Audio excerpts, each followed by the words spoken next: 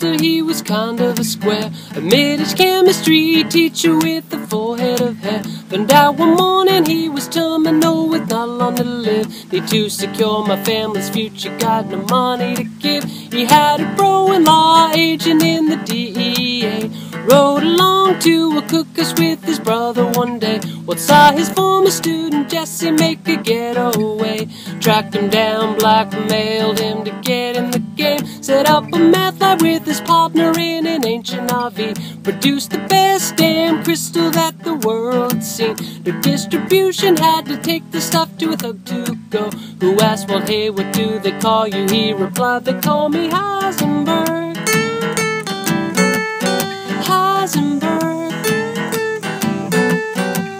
They started making lots of money, cancer treatment was paid. Walt, told his family, thoughtful friends, well, how the payments were made. Ran out of pseudo, changed the recipe to make crystal blue. Tuco said pink, yellow, blue, hey, whatever, do what you do. This method Tuco was a psycho, killed someone in his crew. In front of Walt and Jesse, what's a psycho killer to do? Kidnap them, try to relocate them down to Mexico. Did not work out, long story short, that was the end of Tuco. Jesse hired friends to be their dealers, working the streets. The one got capped by rival dealers with whom they did compete. Their other dealers heard the news and quickly got out the game. And once again, no distribution open for Jesse and Heisenberg. Heisenberg. What did a chicken chain owner named Gustavo Fring? A fast food front for distribution for the genius drug king. Set up a super lab inside a laundry for them to cook. Life was great and they were happy till we learned of the hook. Turns out the gang that killed the friend were called the bad Mr. Fring. Well then Jesse retaliated, consequences would spring. Gus made their lives a living hell, wanted to make these boys dead. But couldn't lose the genius product that would butter his bread. With Gus now out of operation, there were orders to fill. And no more competition, battles were no longer uphill. But Jesse finally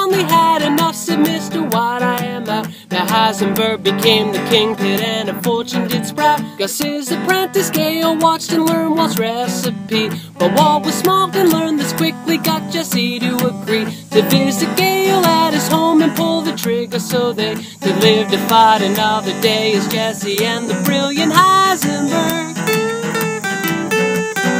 Heisenberg.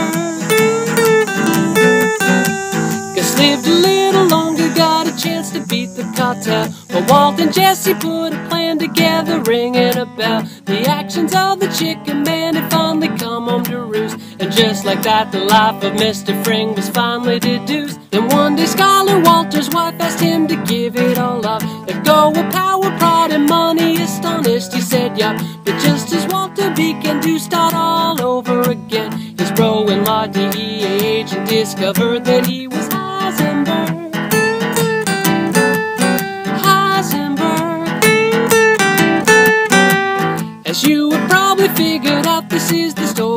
change with many characters and moments that I may not have named. Like shady lawyers that would do anything for some quick green. It's alright, it's all good, man. Won't you make some noise for Heisenberg?